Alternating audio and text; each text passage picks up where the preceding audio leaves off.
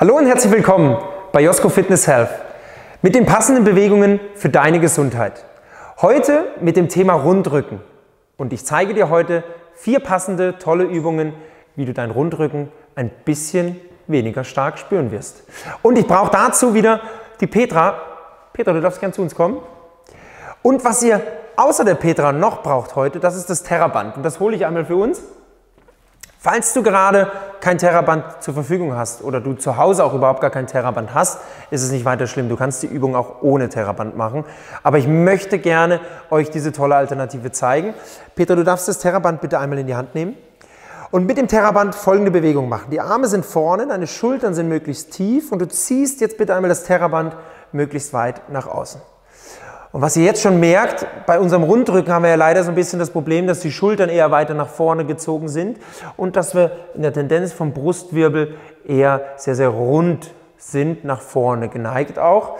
Und das wollen wir jetzt bewusst entgegengesetzt machen. Also heb deinen Brustkorb an, so wie Petra das toll macht, und versuche die Schulterblätter hinten zusammenzuziehen. Also immer bewusst dieses Gefühl zu haben. Sehr schön. Das ist jetzt so ein bisschen eine kräftigende Nummer auch. Also wenn ihr jetzt ein sehr, sehr hartes, festes Terraband habt, dann macht das auch Sinn, dass ihr jetzt das Terraband etwas weiter außen greift. Habt ihr eher ein sehr leichtes Terraband, dann greift ein bisschen weiter innen, so dass es für dich auch nicht zu schwer ist. Du spürst ein bisschen die Muskulatur? Schön. Und jetzt achte immer darauf, dass deine Schultern nie nach oben kommen während der Übung. Perfekt, klasse. Übung 1 geschafft, das Terraband nehme ich dir ab. Klasse, Petra, danke dir.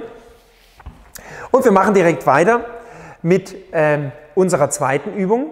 Und unsere zweite Übung geht einmal in Richtung Wand. Wir machen jetzt nämlich die passende Gegenbewegung dazu. Petra, darfst dich einmal bitte in die Position aufstellen, sodass wir mit den Händen wieder einmal die Wand berühren. Mit dem Fuß brauchst du jetzt gar nicht so groß in den Ausfallschritt gehen. Und jetzt versuche bitte, den Oberkörper nach vorne zu schieben. Und das ist einfach eine geniale Gegenbewegung für den gesamten Brustkorb, Brust, Schultergürtel. Du kriegst so ein bisschen Spannung raus, gerade auch vielleicht durch den sitzenden Alltag, der, der dich dazu noch quält und dich nach vorne schiebt. So schaffst du Öffnung in der Muskulatur und du arbeitest auch hier gleichzeitig wieder bewusst nach hinten. Das ist doch genau das Richtige, was wir brauchen. Halte noch einen kurzen Moment, Petra. So ungefähr zwischen 30 und 45 Sekunden sollte wieder jede Bewegung gehen. Du darfst es natürlich gerne auch in der Zeit ein bisschen länger ziehen lassen. Ähm, ich würde dir auch immer empfehlen, versuche beim Ausatmen etwas stärker in die Bewegung zu kommen und beim Einatmen bewusst so den Brustkorb ein bisschen anzuheben. Petra, wir lösen einmal. Gutes Gefühl, jetzt nach der kräftigenden und vielleicht auch nach der dehnenden Bewegung. Wir machen noch mal eine weitere Alternative und zwar, Petra, versuch mal die Arme jetzt nach außen zu nehmen und jetzt zieh mal bewusst über den Ellenbogen in Richtung Körpermitte. Jawohl. Auch hier arbeiten wir über die Arme, aber du merkst jetzt im Vergleich vielleicht zum Terraband auch, es ist etwas tiefer, etwas weiter unten im Bereich deiner Schulterblätter. Und so hast du auch nochmal einen ganz, ganz tollen Effekt, der dich nach hinten holt. Sehr schön. Auch hier wieder ähnlich wie bei der ersten Übung. Mache wieder ein paar Wiederholungen, so zwischen 15 und 20 wären optimal. Doch hier achte darauf, dass deine Schulter stabil bleibt, dass sie nicht zu weit mit nach oben geht und dass du immer ganz bewusst den Brustkorb anhebst. Sehr schön. Und unsere letzte Übung, Petra, vielen Dank, die machen wir auf der Matte. Du darfst einmal bitte auf deine Knie kommen, Petra.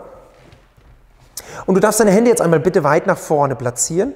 Du bleibst mit dem Gesäß jetzt bitte über der Hüfte und jetzt versuchst du mal deinen Brustkorb weit nach unten zu schieben, so weit wie es für dich geht. Und in dieser Dehnung haben wir auch jetzt wieder eine tolle Öffnung für den Schultergürtel. Und was wir jetzt auch machen können, Petra, ist, du darfst mit den Armen noch ein bisschen weiter nach außen öffnen. Genau, schiebe noch etwas breiter und dann verändert sich der Zug so ein bisschen und genauso darfst du es auch machen. Also komme in die Position mit den Armen, die sich für dich jetzt auch am stärksten, am intensivsten vielleicht anfühlt.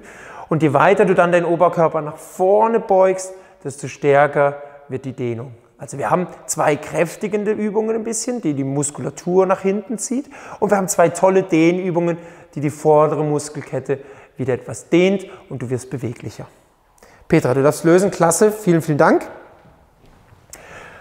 Ja, und das waren auch hier jetzt wieder passende Bewegungen genau für, für die Problemstellung. Und wenn du weitere Hilfsübungen brauchst, dann schau doch gerne mal über unseren Kanal. Wir haben auch ein tolles Video für Verspannungen im Nackenbereich. Das wäre vielleicht jetzt noch das Passende als Ergänzung. Und ansonsten freuen wir uns wie immer über deinen Kommentar. Mach's gut und bis bald. Ciao.